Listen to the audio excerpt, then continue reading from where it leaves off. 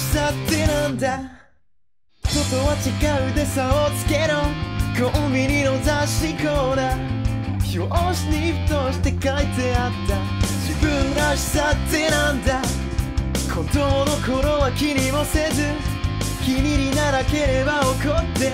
好きなものを好きだと言って。僕らは変わってく。守りたいものが変わってゆく。理解されめの建前大人になるほど。後悔する生き物になるでもね。それでもね。いけるものがあるんだよ。だから僕は僕らしく。そして君は君らしくって初めから。探すようなものではないんだと思うんだ。僕は君じゃないし。君も僕じゃないからすれ違う手をつなぐそこには愛だって生まれるそういうもんさ。自分らしさってなんだろう変えられない大切があるから変わりゆき生活が正しい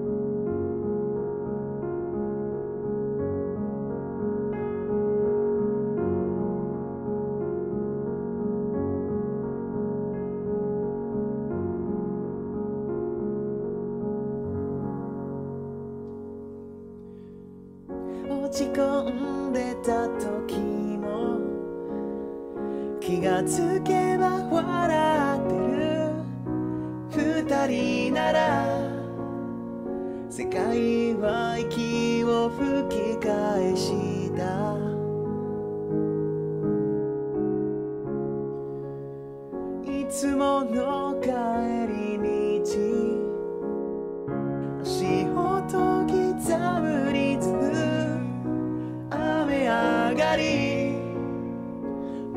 を向けてゆく風よ優しい匂い